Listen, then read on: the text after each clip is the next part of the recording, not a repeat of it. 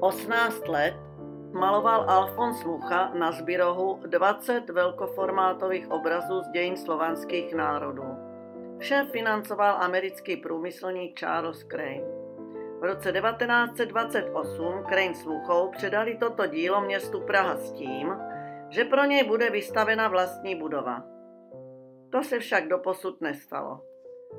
Osud epopeje byl velmi pohnutý a až v roce 2010 byly malby ponechány na zámku v Moravském Krumlově. Stále však trvá spor dědice Johna Muchy s Prahou, která podmínku autora vlastně nesplnila.